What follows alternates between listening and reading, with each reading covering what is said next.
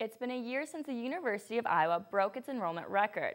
Officials say the number of students placed in temporary housing has decreased from previous years. Daily Iowan TV's Tierra Simpson has the story.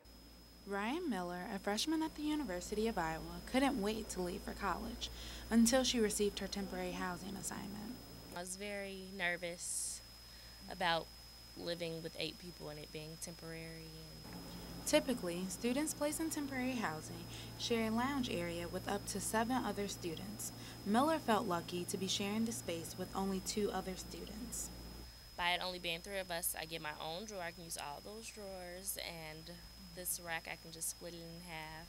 Ryan lives at this particular lounge area in Stanley Hall on the eighth floor, and she has no idea when she's going to leave.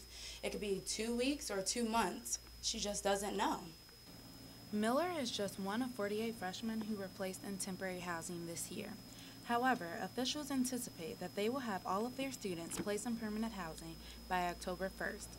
Although Miller's living arrangements were unexpected, she has made the best of her unique experience. Eventually, someone broke the ice, and I've met like really great people on this floor, so I don't think it was a bad thing. I actually may be a little sad once I leave here.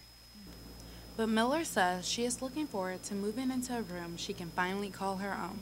Tierra Simpson, Daily Iowan TV.